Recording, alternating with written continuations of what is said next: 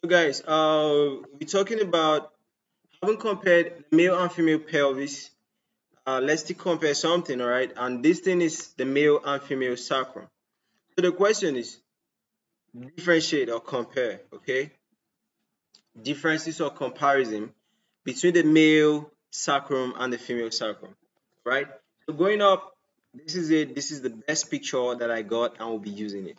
Male and female sacrum. So the body of the first sacral vertebra is larger in males than in females, okay? So this is the first sacral vertebra, all right? I'll say that the body is larger than that in females. The width of the first sacral uh, vertebra is less than the ala in females and wider in males, right? So it's just the same point, okay? Still talking about the uh, first sacral vertebra being larger in males and and than in females, okay? So the sacrum as a whole is often wider in, pro in proportion to length in females than in males, okay? So the sacrum, we say that is wider, okay, than the length in females, okay? But in males, the length is more than the width, okay? So this is just like some extra knowledge. This is another good picture that I'll be using. Okay, so the anterior surface of the female sacrum is flat superiorly and curved forward inferiorly.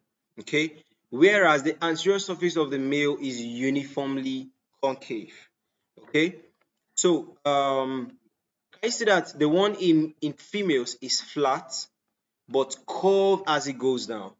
Why the ones in males just maintains normal curvature, all right, of being concave.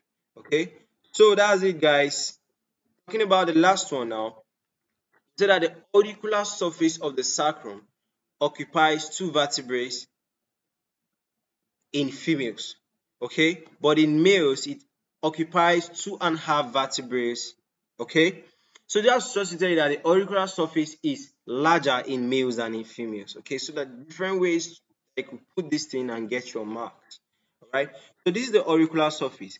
Like I said, the auricular surface is so big in males, but in females it's just small. Okay, and it occupies just two vertebrae the first sacral vertebrae, second sacral vertebrae. Okay, but in males it occupies first sacral vertebrae, second sacral vertebrae, and half of the third sacral vertebrae. Okay, so guys, this is it about comparison and differences between the male sacrum and female sacrum. I hope you guys follow me throughout this lecture. Catch me up in the next one, and bye for now, guys.